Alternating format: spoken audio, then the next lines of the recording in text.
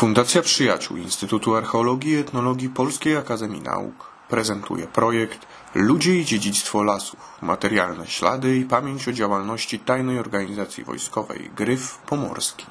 Sfinansowany przez Instytut Dziedzictwa Myśli Narodowej imienia Romana Dmowskiego i Ignacego Jana Paderewskiego oraz powiat Chojnice.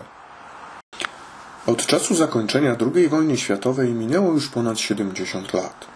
Przez ten czas pamięć o działalności partyzantów zrzeszonych w Gryfie Pomorskim i wspierających ich osób musiała się zmienić i zmieniła się. Przyczynił się do tego zarówno czas, jak i działalność komunistycznych władz PRL. Dziś, mimo że istnieje kilkanaście prac historycznych dotyczących działalności gryfowców, nikt naprawdę nie wie, jak ich historia jest postrzegana przez społeczeństwo, a zwłaszcza tę jego część, która zamieszkuje dziś teren, na którym walczyli oni z okupantem.